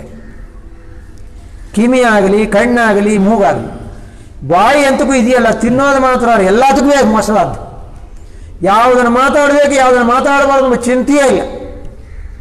ಬಾಯಿ ಮಾತಾಡಬೇಕಾದ್ರೆ ಅದಕ್ಕೆ ಕಾರಣ ಯಾವುದಂದ್ರೆ ನಾಲಿಗೆ. ನಾಲಿಗೆ ಇದ್ದರೆ ಮಾತಾಡೋಕ್ಕಾಗುತ್ತೆ, ನಾಲಿಗೆ ಮಾತಾಡೋಕ್ಕಾಗಲ್ಲ. ಹಲ್ಲಿಗೆ ಲೋಟ ಮಾತಾಡೋದು, ಆದರೆ ನಾಲಿಗೆ ಲೋಟ ಮಾತಾಡೋಕ್ಕಾಗಲ್ಲ. ಹಲ್ಲು ಹೇಳುತ್ತೆ, ನೋಡು, ನಾನೇ ಮುಂದೆ ಇದ್ದೇನೆ ನೀನು ಒಳಗಿದ್ದೆ ಅಂತ ನಾಲಿಗೆ ಏನು ಹೇಳುತ್ತೆ. ಅದಕ್ಕೆ ನಾಲಿಗೆ ಅನ್ನತ್ತೆ, ನೀನು ತುಂಬ ಸಂತೋಷ ಪಡಿ. ಯಾಕೆ ಅದು ನೀ ಬರೋಡ ಬರಲ್ಲ, ಹೋಗೋಳು, ನೀ ಇರಲ್ಲ, ಅಂದರೆ ನೀನೇ ಸಂತೋಷ ಪಡು ಅಂತ ನಾಲಿಗೆ. ಯಾಕೆ ಅಂದರೆ, ನಾಲಿಗೆ ಎಲ್ಲೋಟ ಏನು ಮಾಡೋಕ್ಕಾಗಲ್ಲ. ಹಲ್ಲು ಮಾತ್ರ ಮುಖ್ಯ ಬೈತೆ ಹಲ್ಲು ಬರ್ತೇ ಹೋಗುತ್ತೆ. ಆ ನಾಲಿಗೆ ಇದೆಯಲ್ಲ, ಅದಕ್ಕೆ ಯಾವಾಗ ಏನು ಮಾತಾಡೋದು ಯೋಚನೆ ಇರೋದಿಲ್ಲ. ಅದಕ್ಕೆ ಏನು ಬೇಕಾದ್ರೂ ಮಾಡುತ್ತೆ ಆಚಾರವಿಲ್ಲದ ನಾಲಿಗೆ ನಿನ್ನ ನೀಚ ಬುದ್ಧಿಯ ಬಿಡು ನಾಲಿಗೆ ವಿಚಾರವಿಲ್ಲದೆ ಪರರ ದುಷಿಪದಕ್ಕೆ ಕಾದುಕೊಂಡಿರುವಂಥ ನಾಲಿಗೆ ಅಂದ್ರೆ ದಾಸ. ಯಾರನ್ನ ಏನು ಹೇಳೋಣ ಅಂತೇಳಿ ಮೀಟಿಂಗ್ ಕೂತಿರ್ತೀಂತೆ ನಾಲಿಗೆ ಕಾದುಕೊಂಡಿರುವಂಥ ನಾಲಿಗೆ ಅಂದ್ರೆ ದಾಸ. ಆಗ ಒಳ್ಳೆ ವಿಷಯಗಳನ್ನು ನಾಲಿಗೆ ಮಾತಾಡೋಕೆ ಮನಸ್ಸು ಬರೋದಿಲ್ಲ. ಒಳ್ಳೆ ವಿಷಯನ ಕೇಳೋಕೆ ಕಿವಿ ಬರೋದಿಲ್ಲ. ಒಳ್ಳೆ ನಿರ್ಮಾಣ ಮೂಗು ಬರೋದಿಲ್ಲ. ಒಳ್ಳೆ ನೋಡೋಕೆ ಕಣ್ಣು ಬರೋದಿಲ್ಲ. ಹರಿವಾರುಗಳ ಮುಂದೆ ತದ್ದಬೇಕು ಅಂದರೆ ತಲೆ ಬರೋದಿಲ್ಲ. ಯಾರಿಗೋ ಕೈ ಜೋಡಿಸುತ್ತೆ, ದೇವರ ಮುಂದೆ ಕೈ ಜೋಡಿಸೋದಿಲ್ಲ. ಯಾರು ಕೊಂಡಾಡೋದಕ್ಕೆ ಮನಸ್ಸು ಬರುತ್ತೆ ದೇವರು ಕೊಂಡಾಡೋದಕ್ಕೆ ಮನಸ್ಸು ಬರೋದಿಲ್ಲ. ಒಳ್ಳೆ ಕ್ಷೇತ್ರಕ್ಕೆ ಕಾಲೆಂತಕ್ಕೂ ಬರೋದೇ ಇಲ್ಲ. ಈಗ ನೋಡ್ರಿ, ತಲೆಯಿಂದ ಕಾಲು ತನಕ ಒಂದೊಂದು ಅವಯವಳಿಗೆ ಒಂದೊಂದು ರೋಗ. ಇಂಥ ರೋಗದಿಂದ ನಮ್ಮ ಶರೀರ ಅಂತ ಆವ ರೋಗವೇ ನನಗೆ ದೇವಧನ್ವಂತರಿ, ಸಾವಧಾನದಲ್ಲಿ ಕರಬಿಡಿದು ಬೇಡು ಅಂತ ಗೋಪಾಲದಾಸನ ಹೇಳಿದಂಥ ವಿಷಯಗಳನ್ನೆಲ್ಲ ಒಂದೊಂದು ಪದ್ಯದಲ್ಲಿ ಹೇಳಿದ್ದಾರೆ. ಅಂದರೆ ನಾವೇನಂದ್ರು, ಇದು ಗೋಪಾಲದಾಸರಿಗಪ್ಪ ನಮಗೆಲ್ಲ ಅಂತ. ತನ್ನ ಜೀವನದಲ್ಲಿ ಏನು ಸಾಧನೆ ಮಾಡಿದ್ದಾರೆ ಹಾಗಂದಾಗ ಒಬ್ಬ ವ್ಯಕ್ತಿ, ಚೆಟ್ಟಿಯಾರವ. ಅವನು ರಾಯರ ಅತ್ಯಂತ ಭಕ್ತ. ಅವನಿಗೆ ಅನೇಕ ಕಾಲ ಪುತ್ರಭಾಗ್ಯವಿಲ್ಲ. ಅವನು ರಾಯರಲ್ಲಿ ಪ್ರಾರ್ಥನೆ ಮಾಡಿಕೊಂಡ. ಅವನ ಕುಲದಲ್ಲಿ ಶೆಟ್ಟಿ ರಾಯದಲ್ಲಿ ನನ್ನ ಮನೆ ಸಂಪತ್ತು ಬಂದು, ಸಂತಾನ ಪ್ರಾಪ್ತಿ ಹುಟ್ಟಾದರೆ ನಿನ್ನ ಅನುಗ್ರಹ ನನಗೆ ಪೂರ್ಣವಾದರೆ, ಪುತ್ರಭಾಗ್ಯವಾದರೆ, ವಂಶ ಉದ್ಧಾರವಾದರೆ ಒಂದು ಲಕ್ಷ ಮರಿ ಅನ್ನ ಸಂತರ್ಪಣೆ ಮಾಡ್ತಾನೆ ಪ್ರಾರ್ಥನೆ ಮಾಡಿಕೊಂಡ ಶೆಟ್ಟಿ ಅವರು ರಾಯರು, ಮಹಾನುಭಾವರು, ಒಂದು ವರ್ಷದಲ್ಲಿ ಒಳ್ಳೆ ಗಂಡು ಮಗನ ಕೊಟ್ಟುಬಿಟ್ರು ಅವನಿಗೆ. ಗಂಡು ಮಗು ಬೆಳೀತು, ಗಂಡು ಮಾಡುವ ಎಲ್ಲ ಸಂಸ್ಕಾರ ಮಾಡು ಸುಮಾರು ಐದು ವರ್ಷ ಆಯಿತು ಮಗು ಬೆಳೆದಿದೆ. ಆ ಮನೆ ಪುರುಷನಿಗಂಟ, ಆ ಮನೆ ಸ್ತ್ರೀಗೆ ಭಾಳ ದುಃಖ ಆಯಿತು ನಾವು ಕೇಳಿದಂತ ರಾಯರ್ ಕೊಟ್ಬಿಟ್ರು, ಈ ಮನುಷ್ಯ ಶರೀರ ಶಾಶ್ವತವಲ್ಲ, ಈ ಶರೀರ ಬಿಟ್ಟು ವಾಯುದೇವರು ಯಾವತ್ತು ಹೋಗುತ್ತಾನೆ ತಿಳಿಲ್ಲ. ರಾಯರಲ್ಲಿ ಒಂದು ಪ್ರಾರ್ಥನೆ ಮಾಡಿದ್ರು, ಒಂದು ಲಕ್ಷ ಬ್ರಾಹ್ಮರಿಗೆ ಯಾವತ್ತು ಸಂತರ್ಪಣೆ ಮಾಡೋದು ಅಂತ ಅವ್ರಿಗೆ ದುಃಖ. ಒಂದು ಲಕ್ಷ, ಒಂದಲ್ಲ ಇರಲ್ಲ ಒಂದು ಲಕ್ಷ ಬ್ರಾಹ್ಮಣ ಹುಡುಕಬೇಕು. ಒಂದು ಲಕ್ಷ ಬ್ರಾಹ್ಮರಿಗೆ ಅನ್ನ ಹಾಕಬೇಕು. ಅಂದರೆ ಅರ್ಥ ಏನು? ಒಂದು ಲಕ್ಷ ಬ್ರಾಹ್ಮರಿಗೆ ಅನ್ನದಾನ ಮಾಡೋಷ್ಟು ಕೆಪಾಸಿಟಿ ಇತ್ತು, ಸಂಪತ್ತಿತ್ತು. ಮುಖ್ಯವಾದ ಸಂಪತ್ತಿಲ್ಲ, ಯಾವ ಸಂಪತ್ತಿಲ್ಲ? ಸಂತಾನ ಎಂಬತಕ್ಕಂಥ ಸಂಪತ್ತಿಲ್ಲ. ಆ ಸಂತಾನ ಸಂಪತ್ತು ಕೊಟ್ಟರೆ ನಾನು ಒಂದು ಲಕ್ಷ ಬ್ರಾಹ್ಮಣಿಗೆ ಅನ್ನ ಹಾಕ್ತಾನೆ. ಅಂದ್ರೆ ದೇವರು ರಾಯರು ಕೊಟ್ಟೇ ಕೊಟ್ಟರು, ಸಂಪತ್ತು ಇದೆ. ಅದರ ಅನ್ನದಾನ ಮಾಡೋಕ್ಕಾಗಲ್ಲ. ಯಾಕಂದರೆ ಒಂದು ಲಕ್ಷ ಬ್ರಾಹ್ಮಣ ಸಿಕ್ಕಲ್ಲ. ಏನು ಮಾಡು ಒಂದಿನ ರಾಯರನ್ನ ಪ್ರಾರ್ಥನೆ ಮಾಡಿಕೊಂಡು, ನೋಡಿ, ಇವತ್ತು ನಿನ್ನ ಪ್ರಾರ್ಥನೆ ಮಾಡ್ಕೊಂಡು ಬಲಿಗಿಂತಾನೆ ನಾಳೆ ಬೆಳಗೊಳಗಾಗಿ ನೀ ಏನಾರು ನನಗೆ ನಾನು ಮಾಡಿದ ಸಂಕಲ್ಪಕ್ಕೆ ನಿರ್ಧಾರ ಮಾಡಿದರೆ ಆಯಿತು. ಇಲ್ಲ ಅಂದ್ರೆ ನಾಳೆ ನನ್ನ ಪ್ರಾಣನ ನಿನ್ನ ಪಾದಲ್ಲೇ ಬಿಡ್ತಾನೆ ಎಂದು ರಾಯರು ರಾತ್ರಿ ಸ್ವಪ್ನದಲ್ಲಿ ಬಂದೇ ಬಂದರು ಅವರು. ನಾಳಿನ ದಿವಸ ಮೂರು ಮಹನೀಯರು ನಿನ್ನ ಮನೆ ಬರ್ತಾರೆ. ಯಾರು ಬರ್ತಾನೆ? ಕುದುರೆ ಮೇಲೆ ಬರ್ತಾರೆ. ಅವ್ರಿಗೆ ಬೇಕಾದೆಲ್ಲ ನೀ ಕೊಡು. ಅವರು ಒಬ್ಬರು ಅಡಿಗೆ ಮಾಡೋರು ಒಬ್ಬರು ದೇವ್ರ ಪೂಜೆ ಮಾಡೋರು ಇನ್ನೊಬ್ಬರು ಅಡಿಗೆ ಮಾಡೋರು ದೇವ್ರ ಪೂಜೆ ಉಪಕಾರ ಇರೋರು. ಅವರು ಮೂರು ಜನರಿಗೆ ನೀ ಅನ್ನದಾನ ಮಾಡಿದ್ರೆ ಅವರು ಮೂರು ಜನ ಉಂಡು ತಿಂದು ತೃಪ್ತರಾಗಿ ಅವರೇ ನಿಮ್ಮ ನಿಮ್ಮ ಕುಟುಂಬಕ್ಕವರಿಗೆ ಊಟ ಊಟನ ಕೊಡಿಸ್ಬಿಟ್ಟು ಹೋಗೋರು. ಇವಳಿಗೆ ಸ್ವಪ್ನವ ಏನೋ ನಿಶಂಸಿ ಪಾಪ. ಬೇಡಿಕೊಂಡದ್ದು ಒಂದು ಲಕ್ಷರಿಗೆ. ಇವರು ಮೂರು ಜನರಿಗೆ ಹೇಳಿದ್ದಾರೆ ಅವ್ರು ಕೇಳಿದರು ಆಗ ರಾಯರಂದರು, ನಿನ್ನ ಮನಸ್ಸು ಸಂಶಯ ಅರ್ಥ ಆಯ್ತಮ್ಮ? ನೀ ಆ ಮೂರು ಬ್ರಾಹ್ಮರಿಗೆ ಅನ್ನ ಹಾಕಿದರೆ ಒಂದು ಲಕ್ಷ ಬ್ರಾಹ್ಮರಿಗೆ ಅನ್ನ ಹಾಕಿದ್ದಕ್ಕೆ ಸಮಾನ ಅಂದ್ರು ಇದೆಲ್ಲ ಕೇಳಿಕೊಂಡ್ಳು. ಭಾಳ ಸಂತೋಷ ಆಯಿತು. ಮೊದಲು ದಿವಸ ಬೆಳಿಗ್ಗೆ ಎದ್ದು ಗಂಡಂತ್ರಿ ಸ್ವಲ್ಪ ಸಂತೋಷನೆಲ್ಲ ಹಂಚಿಕೊಂಡ್ಲು ಎಲ್ಲ ಏರ್ಪಾಡುಗಳು ಮಾಡಿದರು. ಮಧ್ಯಾಹ್ನ ಸರಿಯಾಗಿ ಹನ್ನೆರಡು ಗಂಟೆಗೆ ಬರೋರು ಅಂತ ಹೇಳಿದ್ದಾರೆ. ಅದಕ್ಕೆ ಬೇಕಾದ್ದು ಎಲ್ಲದಕ್ಕೂ ಊಟ, ತಿಂಡಿಗೆ ಏನೇನು ಬೇಕೋ ತರಕಾರಿ ಎಲ್ಲ ರೆಡಿ ಮಾಡಿ ಇಟ್ಟಿದ್ದಾಳೆ ಸರಿಯಾಗಿ ರಾಯರು ಹೇಳಿದಂತೆ ಸ್ವಪ್ನದಲ್ಲಿ ಮೂರು ಜನ. ಒಬ್ಬರಿಗೆ ಮೂವತ್ತು ವಯಸ್ಸು, ಒಬ್ಬರಿಗೆ ಇಪ್ಪತ್ತೈದು ವಯಸ್ಸು, ಒಬ್ಬರಿಗೆ ಇಪ್ಪತ್ತು ವಯಸ್ಸು. ಮೂರು ಜನವೂ ಕೂಡ ಕುದುರೆಯಲ್ಲಿ ಬಂದು ಇಳಿತಾ ಇದ್ರು ಬಂದು ಇಳಿದ್ರು, ಬಂದು ನೋಡಿದ ಹೊಡ್ತೀಯ ರಾಯರ ಚೊಪ್ಪನ ಹೇಳಿದ್ದು ಪಲಕಿ ತಂದು ನೆನೆಸಿಳ್ಳು ಎಲ್ಲ ತಂದಿಟ್ರು, ಕೂತ್ಕೊಂಡ್ರು.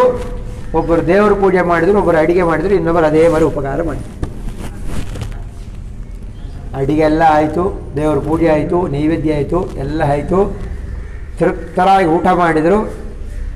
ಊಟ ಆಗಿ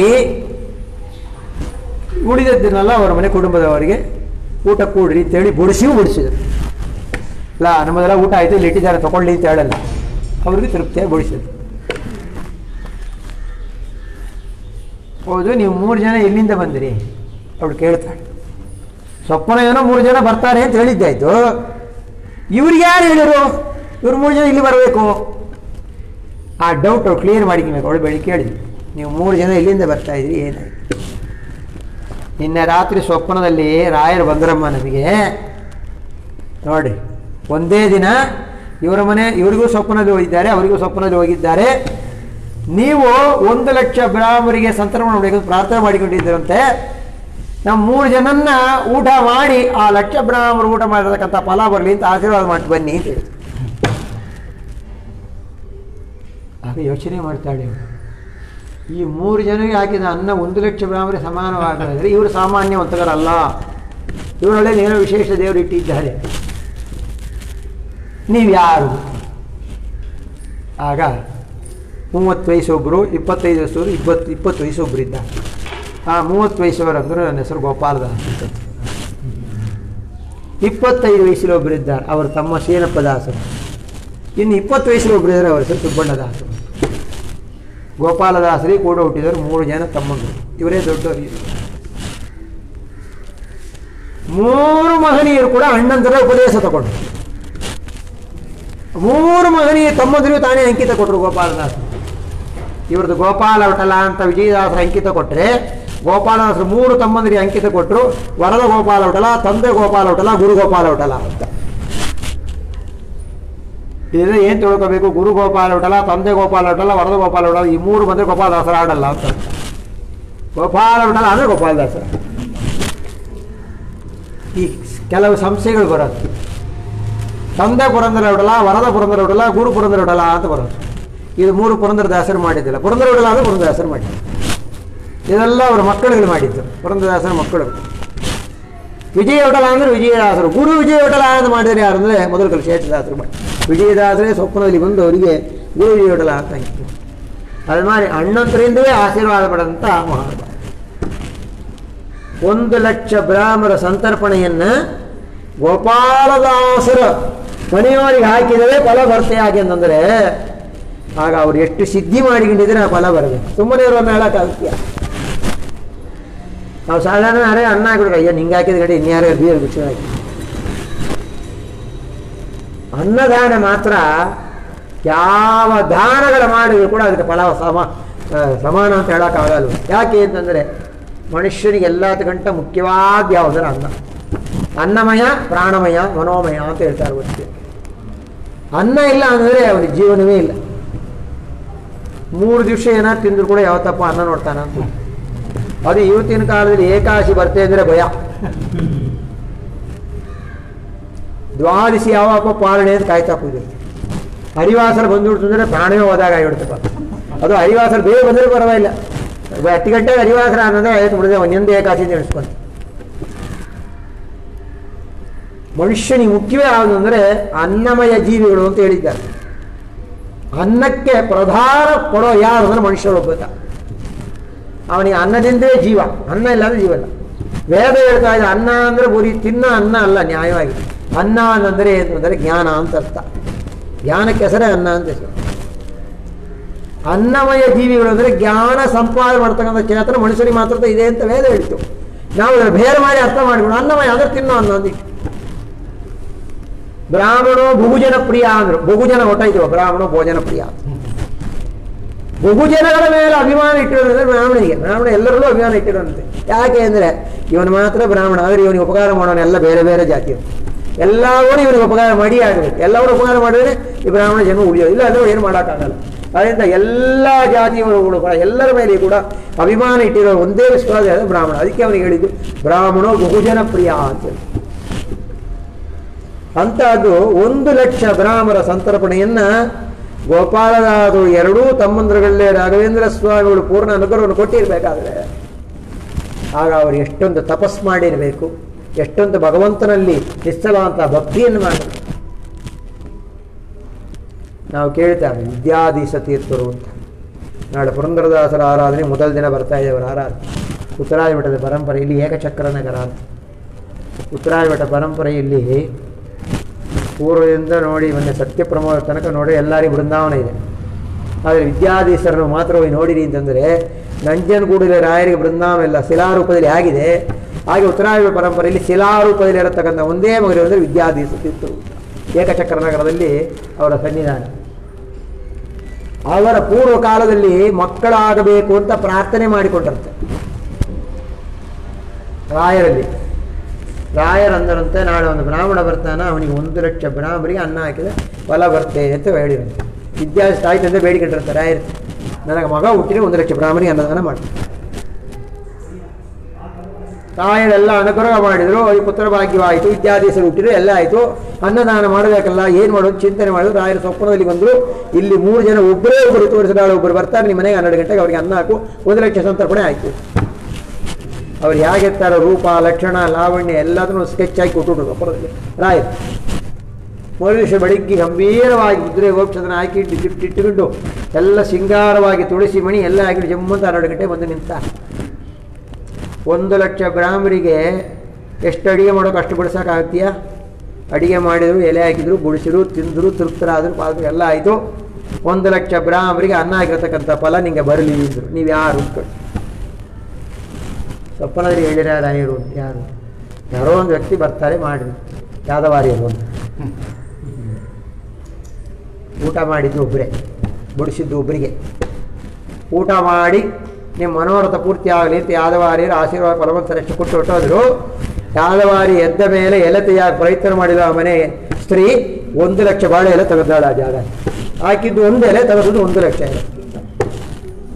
ಅವಳು ಮುಡಿಸಿದ್ದು ಒಂದೇ ಎಲೆ, ಹಾಕಿದ್ದು ಒಂದೇ ಎಲೆ. ಆದರೆ ಗುಡಿಸಿದ ತಕ್ಕ ಎಲೆ ಪಾಪ, ತೈತಾನೇ ಇದ್ದಲ್ಲಿ ಬರ್ತಾನೆ ಇದೆ ಇದ್ದಲ್ಲಿ ಬರ್ತಾನೆ. ಇದೆಂತ ಇದೆಂಥ ಅಮಾನುಷ್ಯ ನೋಡಿ. ಅಂಥ ಮಹಾನುಭಾವರುಗಳು ಎಲ್ಲ ಇದ್ದಿದ್ದಾರೆ ಯಾದವಾರಿಗೆ ಅನುಗ್ರಹ ಮಾಡಿದ್ರು. ಒಂದು ಲಕ್ಷ ಬ್ರಾಹ್ಮಣ ಸಂತರ್ಪಣೆ ಸ್ವೀಕಾರವಾಯಿತು ಅಂತ ರಾಯರೇ ಹೇಳಿದರು. ಒಂದು ಲಕ್ಷ ಬ್ರಾಹ್ಮರಿಗೆ ಸಂತರ್ಪಣೆ ಫಲ ಬಂತು ಗೋಪಾಲದಾಸರು ಹೇಳಿದರು. ನಮ್ಮ ಅದ್ಭುತ ಸಿದ್ಧಾಂತದಲ್ಲಿ ಎರಡೂ ಮಾನವರಿಗೆ ಒಂದು ಲಕ್ಷ ಬ್ರಾಹ್ಮಣ ಸಂತರಣ ಫಲವನ್ನು ಕೊಟ್ಟತಕ್ಕಂಥ ಮಹಾನುಭಾವರು ರಾಯರು ಇಬ್ಬರಿಗೆ ಕೊಟ್ಟರು ಒಬ್ಬರು ಯಾದವಾರಿಗೆ ಕೊಟ್ಟರು, ಇನ್ನೊಬ್ಬರು ಯಾರಿಗೆ ಕೊಟ್ಟರು ಗೋಪಾಲದಾಸ್ ಅದಕ್ಕೆ ಅಂತ ಸಾಧನೆಯನ್ನ ಮಾಡಿಕೊಂಡು ಬಂದಿದ್ದಾರೆ ಅಂತಂದಾಗ ಅಂತ ಸಾಧನೆ ಎಷ್ಟೊಂದು ವಿಶೇಷವಾಗಿರಬೇಕು ಅಂತ ನೋಡಿ. ಎಷ್ಟು ಬಡತನ ಅಂದರೆ ನಾವೆಲ್ಲ ಬಡತನ ಅಂತಾರೆ ಅವರು ಬಡತನವೇ ಯೋಚನೆಯೇ ಮಾಡಲ್ಲ. ಮನುಷ್ಯನಿಗೆ ಹಣ ಕಾಸಿದ್ದಾಗ ದಾನ ಮಾಡೋದು ಹೆಚ್ಚಲ್ಲ. ಹಣವೇ ಇಲ್ಲ, ಕೈಲಿ ದುಡ್ಡೇ ಇಲ್ಲ, ದಾನ ಮಾಡಬೇಕು, ಏನು ದಾನ ಮಾಡಬೇಕು? ನನ್ನ ಶರೀರದಿಂದ ಏನಾಗುತ್ತೆ? ಅದನ್ನೆಲ್ಲ ದಾನ. ಉಪಕಾರ, ಏನೇನು ಉಡಿತಿ ಎಲ್ಲ ದಾನಗಳನ್ನು ಮಾಡಿ ಒಬ್ಬ ರೈತ, ವ್ಯವಸಾಯಿ ಬುಗು ಸಣ್ಣ ವಯಸ್ಸಿನಲ್ಲೇ ನಾಲ್ಕು ಮಕ್ಕಳನ್ನು ಬಿಟ್ಟು ತಂದೆ ಪರಮಾತ್ಮ ಪಾದ ಸೇರಿದರು. ತನಗಿಂತ ಮೂರು ತಮ್ಮದನ್ನ ಕಾಪಾಡಬೇಕಂತ ಕರ್ತವ್ಯ ಗೋಪಾಲದಾಸರಿಗಿತ್ತು. ಬಹಳ ದುಃಖ ಅದರ ದುಃಖ ನೋಡಕ್ಕೆ. ಯಾರೋ ಒಬ್ಬ ಸಾಹುಕಾರ ತನ್ನ ಮಗನಿಗೆ ಉಪನಯನ ಮಾಡಿದ. ಅವನು ಗೋಪಾಲ ತಾಯಿಲಿ ಬಂದು ಕೇಳಿದ, ಗಿರಿಮ್ಮ, ನನ್ನ ಮಗನಿಗೆ ಉಪನಯನ ಮಾಡ್ತಾ ಇದ್ದಾನೆ, ನಿಂಗೆ ನಾಲ್ಕು ಗಂಡು ಮಕ್ಕಳಿದೆ ನಿನ್ನ ಜ್ಯೇಷ್ಠ ಪುತ್ರ ನಾನು ಖರ್ಚು ಮಾಡಿ ಉಪನಯನ ಮಾಡ್ತಾ ಇದ್ದೆ ಸರಿ ಹಾಗಾದ್ರೆ ನನ್ನೊಂದು ಮಗನಿಗೆ ಬ್ರಹ್ಮೋಪದೇಶವಾಗಲಿ ಅಂತಂದಾಗ ಅವರಿಗೆ ಮಾಡಿರ್ತಕ್ಕಂಥ ಬ್ರಹ್ಮೋಪದೇಶ ನೋಡಿ ಎಂಥ ಉಪದೇಶ? ಅವರಿಗೆ ಮಾಡಿದ್ದು ಸಕಲ ಜೀವರಾಶಿಲಿ ಉಪನಯನ ಮಾಡಿದ, ಫಲ ಕೊಟ್ಟ ದೇವರು. ಅಂತ ಉಪನಯನ ಆಗದ ಹೇಳಿದ್ರಂತೆ, ಅಪ್ಪ ಮೂರು ವೇಳೆ ಸಂಧ್ಯಾವನ ಮಾಡಬೇಕು, ಮೂರು ವೇಳೆ ಗಾಯತ್ರಿ ಮಂತ್ರ ಜಪ ಮಾಡಬೇಕು, ನಿನ್ನ ಕಾರ್ಯ ಸಿದ್ಧಿ ಆಗತ್ತೆ. ಪುರೋಹಿತರು ಹೇಳಿದರು, ಈ ಬ್ರಾಹ್ಮಣ ಶರೀರ ಇದೆಯಲ್ಲ, ಇದು ಒಂದು ದೊಡ್ಡ ವೃಕ್ಷ. ವೃಕ್ಷಕ್ಕೆ ಯಾವುದು ಆಧಾರ ಅನ್ನೋದ್ರೆ ಬೇರು. ಬೇರು ಚೆನ್ನಾಗಿತ್ತಿದ್ರೆ ಮರ ಗಟ್ಟಿಯಾಗಿರುತ್ತೆ. ಬೇರು ಉಳಿತಾ ಮರ ಮರ ಒಂದಿದ್ದು ಬಿದ್ದೋಗುತ್ತೆ. ಹಾಗೆ ಬ್ರಾಹ್ಮಣ ಎಂಬತಕ್ಕಂಥ ಈ ಶರೀರ ಈ ಶರೀರ ಎಂಬತಕ್ಕಂಥ ವೃಕ್ಷ, ಆ ವೃಕ್ಷಕ್ಕೆ ಬೇರು ಎಂಬತಕ್ಕಂಥ ಸಂಧ್ಯಾವಂದನೆ ಗಾಯತ್ರಿ ಮಂತ್ರ. ಅಂತ ಸಂಧ್ಯಾವಂದನೆ ನೀನು ಮಾಡಿದೆ ಆದರೆ ಅಂತ ಗಾಯತ್ರಿಯನ್ನು ಮಾಡಿದೆ ಆದರೆ ನಿನ್ನ ಮನಸ್ಸಲ್ಲಿ ಇದ್ದು ಏನು ಯಾರು ಹೇಳ್ತೀವಿ ಅದು ವಾಕ್ ಫಲಿತವಾಗುತ್ತೆ. ಮಹಾ ದೊಡ್ಡ ಜ್ಯೋತಿಷರಾದರು ಗೋಪಾಲದಾಸ ಏನು ಜ್ಯೋತಿಷರು ಅಂದರೆ ಸಾಮಾನ್ಯ ಜ್ಯೋತಿಷರಲ್ಲ ಈಗ ನಾವು ಎಷ್ಟೋ ಕಲಿಕಾಲದಲ್ಲಿ ಜ್ಯೋತಿಷರೆಲ್ಲ ನೋಡ್ತಾ. ಏನೇ ನಮ್ಮ ಹೆಂಡತಿ ಗರ್ಭಿಣಿ ಇದ್ದಾಳೆ ಏನು ಮಗು ಹುಟ್ಟತ್ತೆ ಏನು ವಿಚಾರ ಮಾಡಬೇಡಪ್ಪ ನಿನ್ನ ಗರ್ಭಿಣಿ ಇರಬೇಕಂದ್ರೆ ಮಗು ಹುಟ್ಟಲೇ ಹುಟ್ಟತ್ತೆ. ಗರ್ಭಿಣಿ ಆದರೆ ಮಕ್ಕಳು ಹುಟ್ಟಲೇ ಹುಟ್ಟತ್ತೆ, ಇದನ್ನು ಜಾಸ್ತಿ ಇದ್ರೆ ಹೇಳ್ಬೇಕಾಗ್ತದೆ ಇಲ್ಲ, ನನ್ನ ಹೆಂಡತಿ ಗರ್ಭಿಣಿ ಇದ್ದಾಳೆ ಹೆಣ್ಣು ಮಗು ಹುಟ್ಟತ್ತೀಯೋ, ಗಂಡು ಮಗು ಹುಟ್ಟತೀಯೋ ಅಂತ ಹೇಳಿ.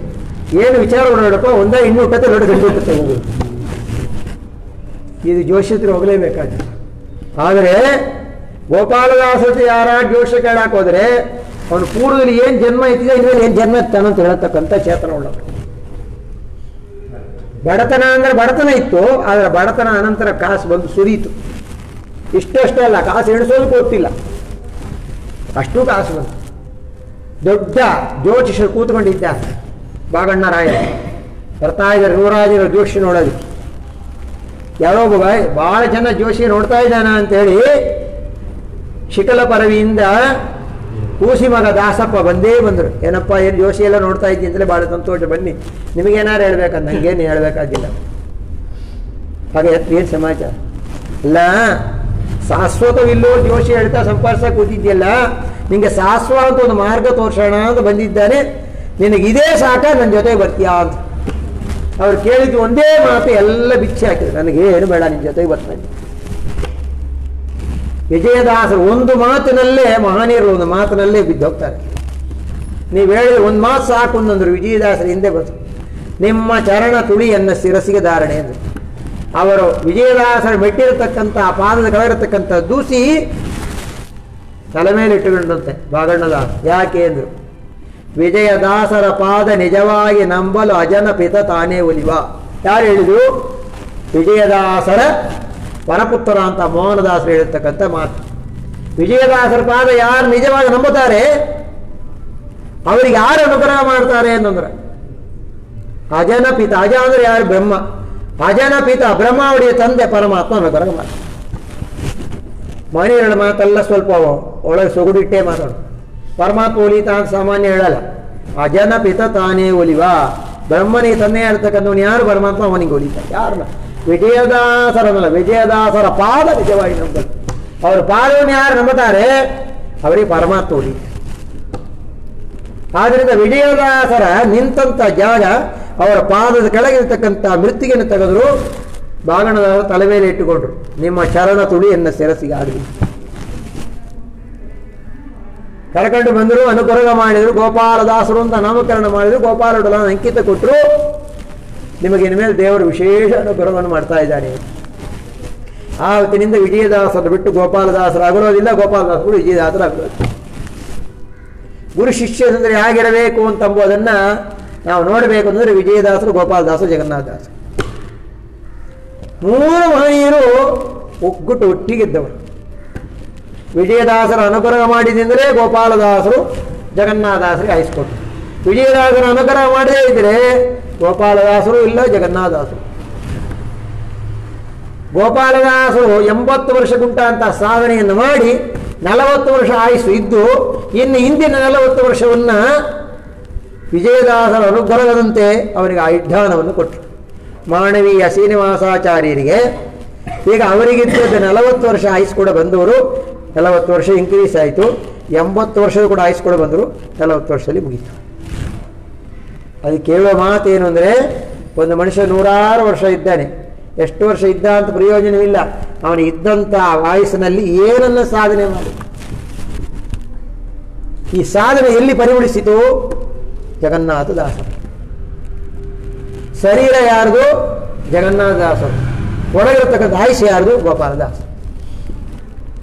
ಗೋಪಾಲದಾಸರು ಅನುಗ್ರಹವನ್ನು ಪಡೆದು ಜಗನ್ನಾಥದಾಸ ಏನು ಮಾಡಿದ್ದಾರೆ? ಹರಿಕಥಾಮೃಸಾರ ಗ್ರಂಥ ಮಾಡಿದ್ದಾರೆ ಜಗನ್ನಾಥದಾಸರು ಮಾಡಿದ್ದಲ್ಲ ರೀ ಆಯುಸು ಅಂತ ಒಂದು ಇದ್ದಿರ್ತಾನೆ ಬರಿಯಾಕೆ? ಆಗ ಮಾಡಿದ್ಯಾರು ಶರೀರ ಜಗನ್ನಾಥ ಗೋಪಾಲದಾಸರೇ ಮಾಡಿದ್ದಾರೆ.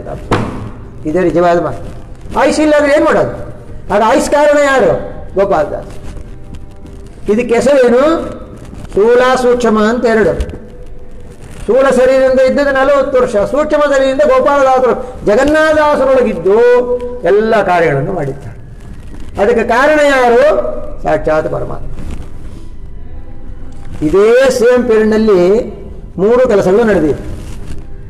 ವಿಜಯದಾಸರ ಅನುಗ್ರಹ ಮಾಡಿ ಗೋಪಾಲದಾಸರು ಜಗನ್ನಾಥ ನಲವತ್ತು ವರ್ಷ ಆಯಿಸ್ಕೊಟ್ಟದ್ದು. ಆಯುಷ್ಕಾರಣ ಇರತಕ್ಕಂಥ ಪರಮಾತ್ಮ ಲಕ್ಷ್ಮೀನಾರಾಯಣ ಅನುಗ್ರಹ ಮಾಡಿ ಸತ್ಯಸಂತರಿಗೆ ಸತ್ಯಬೋಧರು ಐಸ್ಥಾನವನ್ನು ಕೊಟ್ಟದ್ದು. ವಿಜಯದಾಸರಿಗೆ ಪರಮಾತ್ಮ ಅನುಗ್ರಹ ಮಾಡಿ ವಿಜಯದಾಸರು ಮೋಹನದಾಸರಿಗೆ ಆಯುಷ್ದಾನ ಕೊಟ್ಟರು ಇದು ಮೂರು ಕೂಡ ಸೇಮ್ ಪಿರಿಯಡ್ನಲ್ಲಿ. ಸತ್ಯಬೋಧರು ಸಾವನೂರು ಸತ್ಯಬೋಧ ತೀರ್ಥರು ತನ್ನ ಆಯುಸ್ಸಿನಿಂದ ಹತ್ತು ವರ್ಷ ಆಯುಸ್ಸನ್ನು ತನ್ನ ಶಿಷ್ಯರ ಅಂತ ಸತ್ಯಸಂದರಿ ದಾನ ಕೊಟ್ಟರು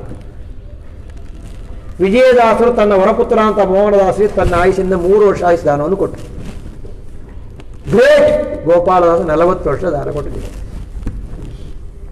ಹೇಳಕ್ಕೆ ಏನು ಚೆನ್ನೈ ಐಸ್ ದಾನ ಕೊಟ್ಟರು ನೀನು ಬಾಯಿ ಮಾತು. ಏನು ಸೊತ್ತ, ಸಂಪತ್ತ, ಕಾಸ, ದುಡ್ಡ ಕೂಡ ಅಂದರೆ ಏನು ಅರ್ಥ? ಅದಕ್ಕೆ ಅಷ್ಟೊಂದು ಯೋಗ್ಯತೆ ಉಳ್ಳವರಿಬ್ಬರು ಅಂತ ಅರ್ಥ ಅಂಥ ಮಹಾನುಭಾವರು ಗಾಯತ್ರಿ ಮಂತ್ರವನ್ನು ಸಿದ್ಧಿ ಮಾಡಿದಂಥ ಒಂದು ಕಾರಣ, ಎರಡನೇ ಧನ್ವಂತಿಯನ್ನು ಉಪಾಸ. ಆ ಧನ್ವಂತಿಗೆ ಪ್ರತಿನಿತ್ಯ ಧನ್ವಂತರಿ ಹೋಮ. ಎಲ್ಲಿ?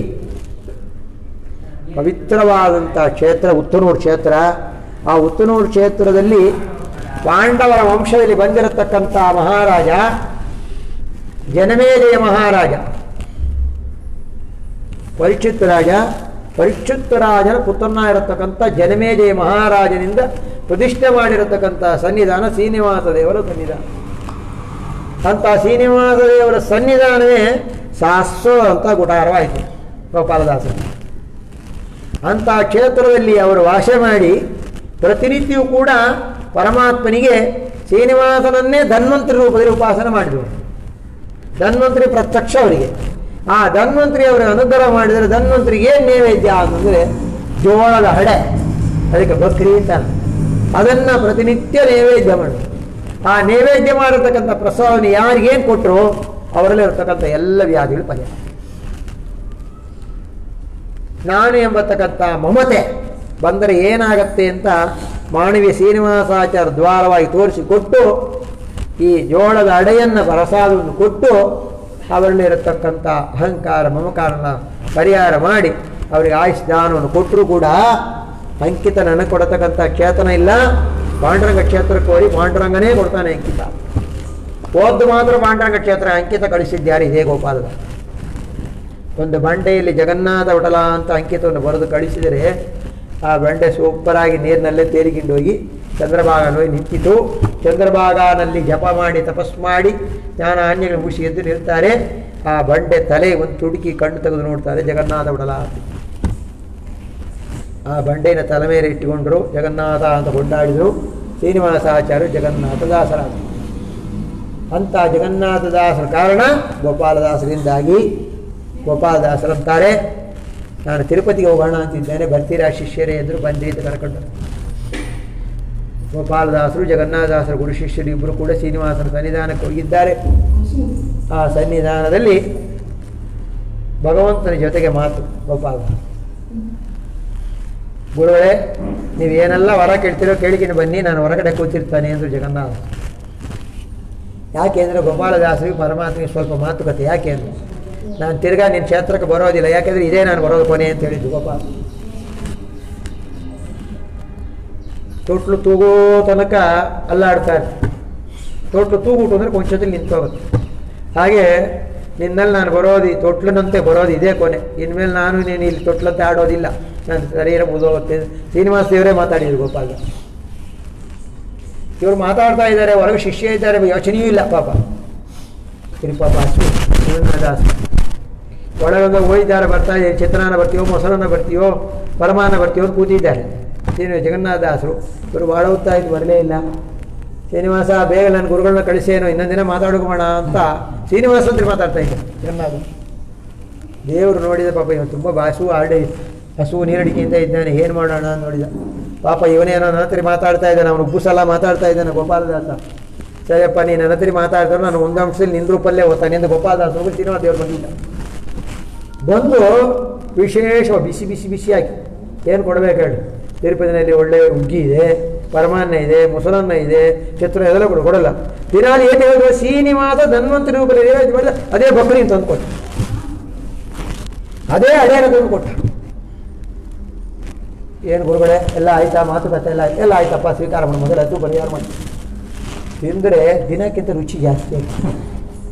ಏನಿದು ಇಷ್ಟೊಂದು ರುಚಿ. ಶ್ರೀನಿವಾಸರಿಂದ ತಂದಿದ್ದಾರಲ್ಲ ಅದು ವಿಷಯ.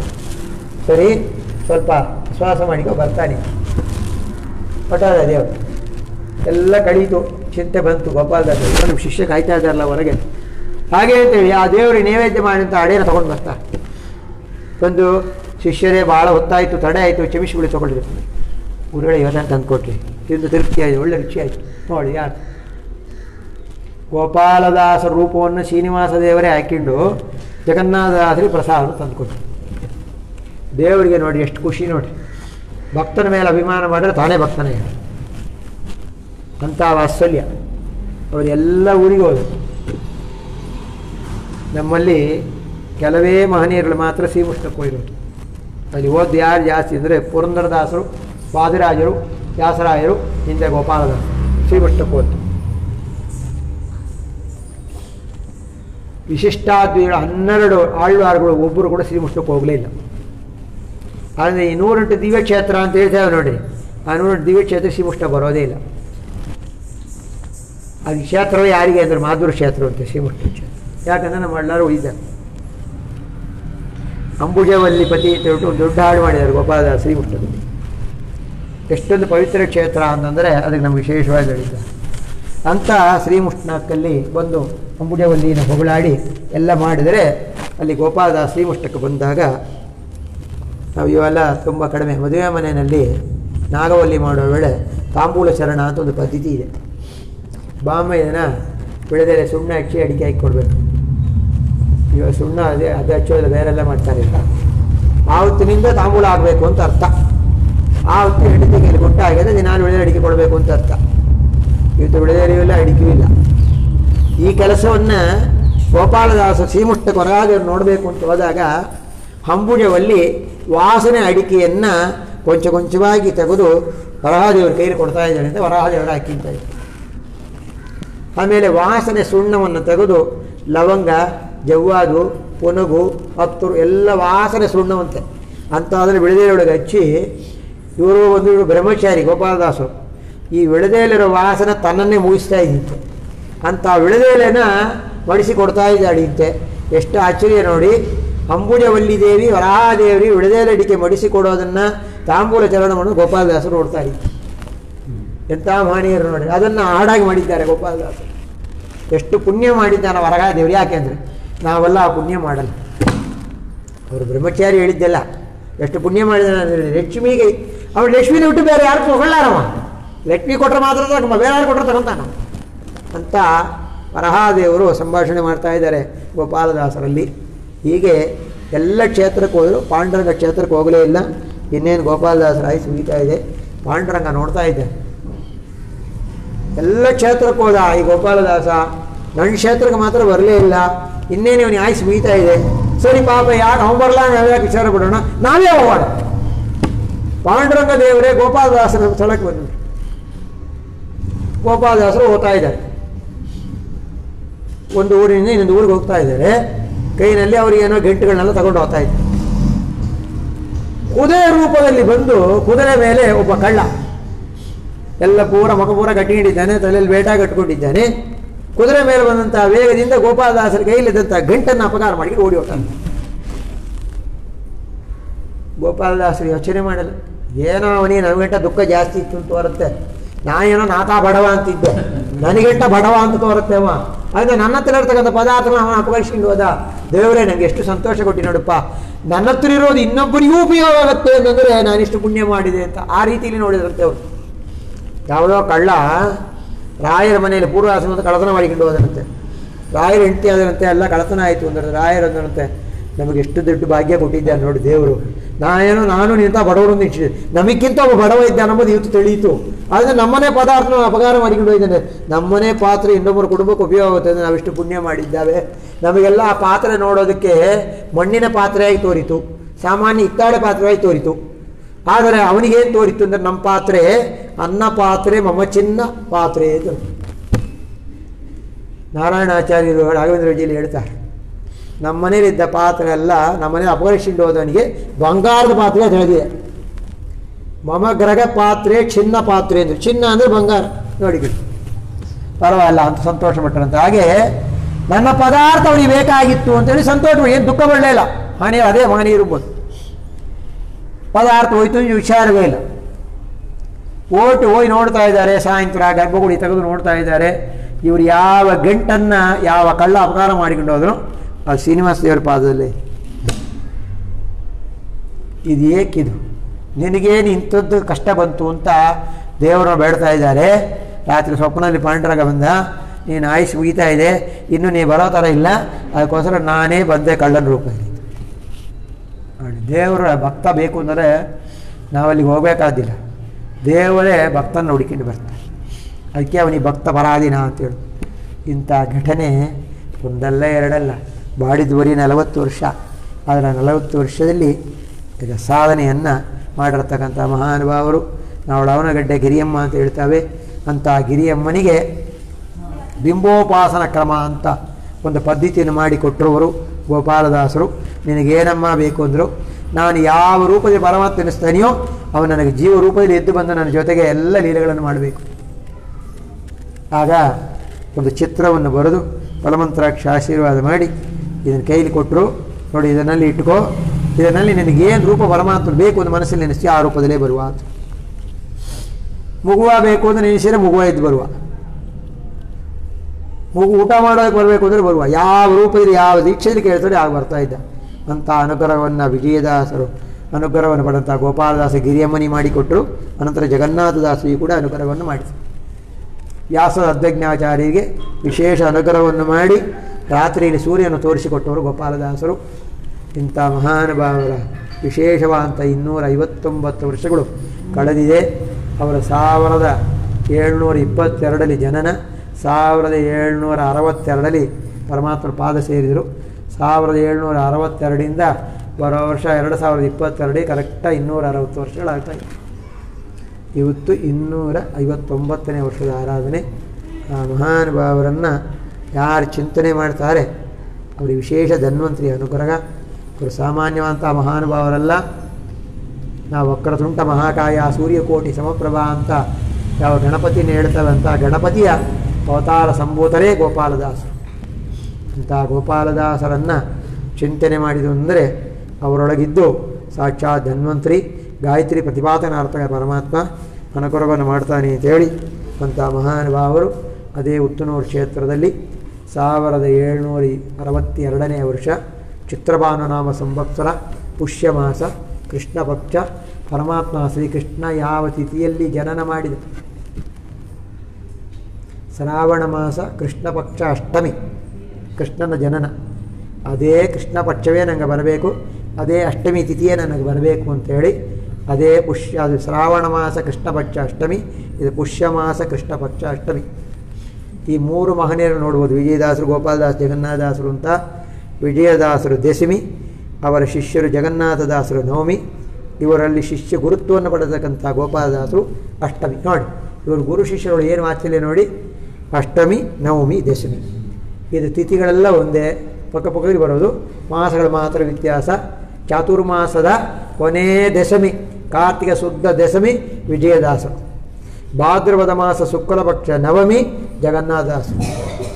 ಪುಷ್ಯಮಾಸ ಕೃಷ್ಣಪಕ್ಷ ಅಷ್ಟಮಿ ಗೋಪಾಲದಾಸರು ಅಂತ ಆ ತಿಥಿಗಳು ಕೂಡ ನೋಡಿ ಗುರು ಶಿಷ್ಯರು ಏನು ವಾತ್ಸಲ್ಯ ಇರೋದು ಅಂಥದ್ದಾಗಿ ಮಾಡಿ ಸಾವಿರದ ಏಳ್ನೂರ ಇಪ್ಪತ್ತೆರಡು ಅರವತ್ತೆರಡನೇ ವರ್ಷ ಪುಷ್ಯಮಾಸ, ಕೃಷ್ಣಪಕ್ಷ, ಅಷ್ಟಮಿ ತಿಥಿ, ಚಿತ್ರಭಾನು ನಾಮ ಸಂವತ್ಸರ, ಭಾನುವಾರ, ಸ್ವಾತಿ ನಕ್ಷತ್ರ. ಮುಕ್ಕಾಲಸ್ಯ ಸ್ವಾತಿ ನಕ್ಷತ್ರ ಬರೋದು ನಿನ್ನೆ ಸ್ವಲ್ಪ ಸ್ವಾತಿ ಜೀರಿಗೆ ಹೋಗಿದೆ ಇದು ವಿಶಾಖ ಬಂದಿದೆ ಅಂತ ಆ ದಿವಸದಲ್ಲಿ ನಾನು ಬಾಡಿದ್ದು ಸಾಕಪ್ಪ, ನಿನ್ನ ಚರಣಾರವಿಂದಕ್ಕೆ ನನ್ನ ಸೇರಿಸಿಕೊ ಅಂತ ಹೇಳಿದಾಗ ಅವರು ವಿದ್ಯಾ ಹರಿದ್ಯಾನಸ್ಥರಾಗಿ ಕೂತಿದ್ದಾರೆ. ಅವರ ದೇಹದಿಂದ ಒಂದು ಜ್ಯೋತಿ ಹೊರಟು ಶ್ರೀನಿವಾಸನಿಲು ಸೇರಿದೆ. ಅಂತ ಮಹಾನುಭಾವರ ಆರಾಧನೆ ದಿವಸ ಇತ್ತು. ಅವರು ನಾವು ಚಿಂತನೆ ಮಾಡಿದರೆ, ಯಾಕೆಂದರೆ ಪರಮಾತ್ಮ ಹೇಗೆ ಅನುಗ್ರಹ ಮಾಡ್ತಾನ ಅಂದರೆ ಭಗವದ್ಗೀತೆಯಲ್ಲಿ ಹೇಳ್ತಾನೆ ನನ್ನಲ್ಲಿ ಎಷ್ಟು ಭಕ್ತಿ ಮಾಡ್ತಿ, ಅಲ್ಲಿ ಕಡಿಮೆ ಆದರೂ ಚಿಂತೆ ಇಲ್ಲ. ಆದರೆ ಗುರುಗಳಲ್ಲಿ ಭಕ್ತಿ ಮಾತ್ರ ಕಡಿಮೆ ಮಾಡಬೇಡ. ಯಾಕೆ ಅಂದರೆ ಗುರುಗಳಲ್ಲಿ ಭಕ್ತಿ ಮಾಡಿದ್ರೆ ನಾನು ಅದರೊಳಗೆ ಇರ್ತೇನೆ. ನೀನು ಗುರುಗಳನ್ನ ಬಿಟ್ಟು ನನ್ನ ಭಕ್ತಿ ಮಾಡಿದರೆ ನಾನು ನಿನ್ನಲ್ಲಿ ಇರೋದೇ ಇಲ್ಲ ಅಂತ. ಕೈಕೆ ಗುರುಭಕ್ತಿ ಬಹಳ ಮುಖ್ಯ ಅಂತ. ಅಂತ ಗುರುಭಕ್ತಿಯನ್ನು ಹೇಗೆ ಮಾಡಬೇಕು ಅಂತ ತೋರಿಸಿಕೊಟ್ಟಂಥ ಮಹಾನುಭಾವರು ನಮ್ಮ ಗೋಪಾಲದಾಸರು ತನ್ವಂತಿ ಉಪಾಸಕರು, ಅಂತ ದೇವರ ಅನುಗ್ರಹದಿಂದವಾಗಿ ಇವತ್ತಿನ ದಿವಸ ವಿಶೇಷವಾದಂಥ ರೀತಿಯಲ್ಲಿ ದಾಸರ ಆರಾಧನೆಯಾಗಿದೆ. ನಮ್ಮೆಲ್ಲರಿಗೂ ಕೂಡ ಗೋಪಾಲದಾಸ ಅಂತರ್ಗತವಾದ ಭಾರತೀಯ ರಮಣ ಮುಖ್ಯ ಅಂತರ್ಗತ ಅವರು ಯಾವುದನ್ನು ಹೇಗೆ ನೆನೆಸಿರುವುದಂದರೆ ತನಗೆ ಭೋಗ ಬಂತು ಅಂತ ಸಂತೋಷ ಪಡಲೇ ಇಲ್ಲ. ದುಃಖ ಬಂತು ಅಂತ ವಿಚಾರವೂ ಪಡಲೇ ಇಲ್ಲ. ಅವ್ರು ಹೇಗೆ ನೆನೆಸಿರು ಅಂದರೆ ಅವ್ರು ಸರ್ವ ಶ್ಲೋಕ ಹೇಳ್ತಾ ಇದೆ, ತ್ಯಾಗಭೋಗ ಸಮಾಯುಕ್ತಂ. ನನಗೆ ದುಃಖ ಬಂದರೂ ವಿಚಾರ ಅಲ್ಲ, ಸಂತೋಷ ಬಂದರೂ ವಿಚಾರ. ಯಾಕೆ ಅಂದರೆ ಎರಡೂ ಶಾಶ್ವತವಲ್ಲ. ಆಗದಾದಿರಾಜ್ಞಂ ಆಗಮಾರ್ಥ ವಿಚಾರತಾಂ, ತ್ಯಾಗಭೋಗ ಸಮಾಯುಕ್ತಂ ಅಗಣ್ಣಾರಿ ಗುರುಂಭಜೆ ಅಂತ ಆ ಶ್ಲೋಕ ಹೇಳ್ತಾ ಇದೆ. ಭೂಪಾಲದ ಪಾದಾಭ್ಯಂ ಪಾಪಾನಿ ಪರಿಹಾರಿಣಂ, ಗೋಪಾಲದಾಸ ಈಡೇಯಂ ಗೋಪಾಲಂ ಹರಿದರ್ಶನಂ ಅಂತ ಮಹಾನುಭಾವನ ಚರಣಕ್ಕೆ ಗೋಪ ಗೋಪಿಯ ಸುತೆಗೆ ಗೋವಳ, ರಾಯಿಗೆ ಗೋವರ್ಧನೋದ್ಧಾರ, ಗೋವಿಂದಗೆ ಗೋಕುಲದಲ್ಲಿ ಹುಟ್ಟಿ ಗೋವಳನೇ ಕಾಯ್ದ ಗೋಪಾಲಕೃಷ್ಣ ಶ್ರೀಪಾದಕ್ಕೆ ದೇಮಂಗಳ ನಿತ್ಯ ಶುಭಮಂಗಳ ಇತಿ ಶ್ರೀಕೃಷ್ಣಾರ್ಪಣ.